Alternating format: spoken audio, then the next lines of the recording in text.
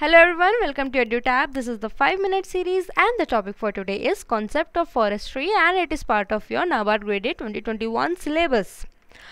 To our new audience, kindly subscribe to our YouTube channel and you can also join our Telegram channel to get the PDF of this particular lecture and every lecture that we provide in YouTube.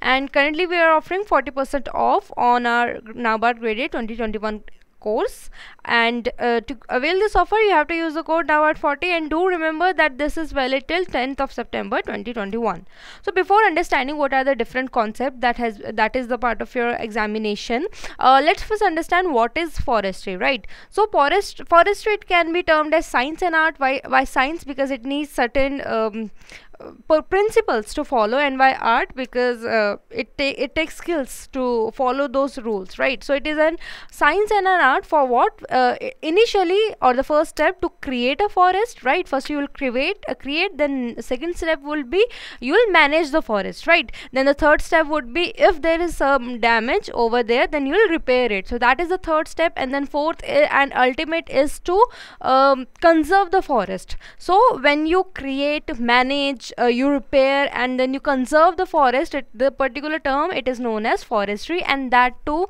in a systematic manner. It is not like that uh, you can do whatever in whatever style you want there should be a system system present there. So that is known as what? That is known as a, a forestry. And so it includes both thinking also because first you need to think that how you have to implement the things and then you finally implement. So it is all thinking and actions. Okay so uh, i hope this forestry is clear to you all. Now there are different terms or concepts that are associated with it. Uh, we'll study about them one by one.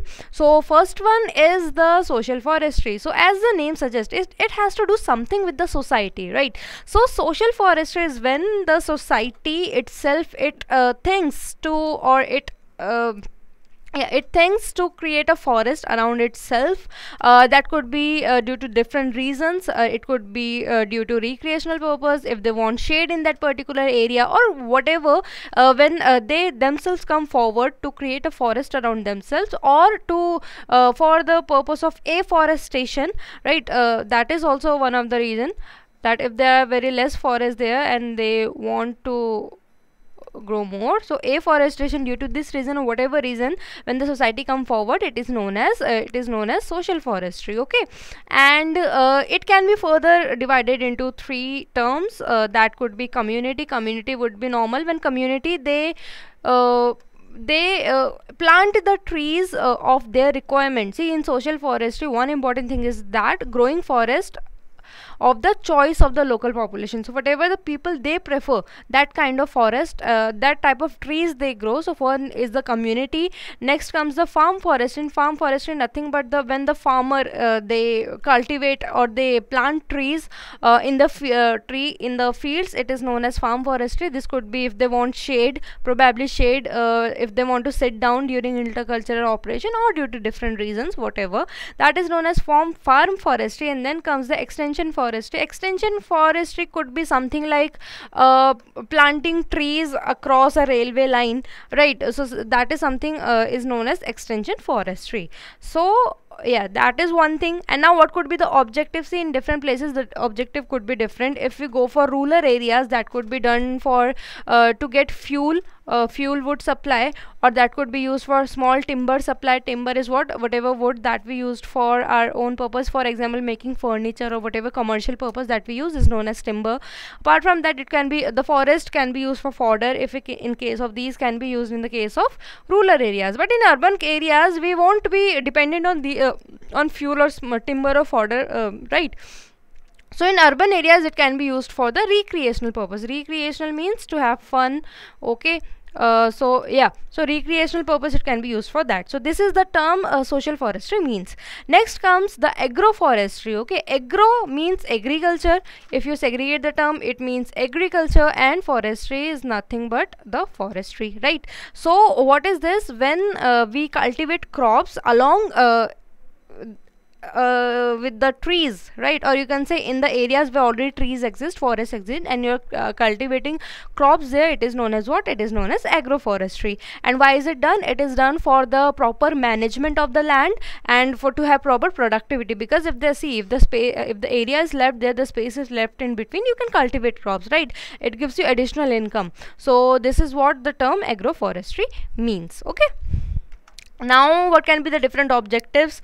Uh, first is to manage land efficiently because there is a lot, la lot of land left in between the trees. You can manage uh, you can manage that to use available resources because there are many resources that are available but get wasted because in forest usually nothing uh, we cultivate nothing right? But there are so resources available so we can utilize them.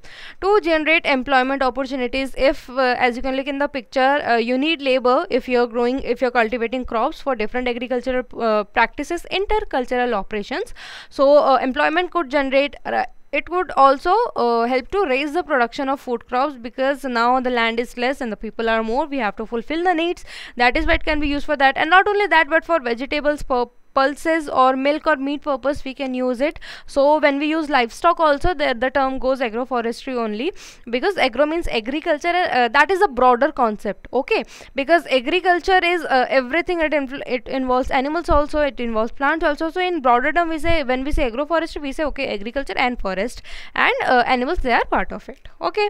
Now next term it comes joint forest management okay? So what is this joint forest management? See it is basically when both the forest department that is the government and the local community they come forward they work together for the preservation of the forest. It is the term is known as joint forest management. Okay so how it goes uh, local community they are assigned this task uh, uh, that you have to protect and manage the nearby forest which whatever is around you. And in return they are given some liberty because see in forest uh, you cannot just go and cut down trees or uh, branches or whatsoever there are some limitations right? But these villagers they they are uh, exempted from this these restrictions because they are in return protecting the forest. They will help the forest department to look after that uh, no uh, uh means nothing wrong is done in that forest uh, or, or, illegal activities right? Uh, like illegal cutting of the trees or poaching of animals right?